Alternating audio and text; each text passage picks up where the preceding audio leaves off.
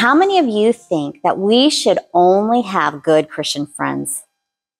I mean, at least we know they always behave and we won't get into trouble, right? Our parents want us to keep good, positive influences as friends. But what about those people who aren't good influences? Are we supposed to avoid them completely? Or should we invite them to join us and become the good example for them? This is sometimes a very difficult choice. In the Bible, Jesus spent most of his time with the sickest people and the worst sinners. In fact, most of the people he spent time with were the ones that everyone else avoided. So why wasn't he concerned that they would be bad influences on him? Probably because he was always in communication with God.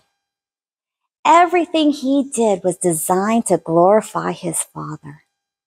So the next time you are looking at somebody that may not be the best influence, we can show them God's love and be the right kind of friend for them.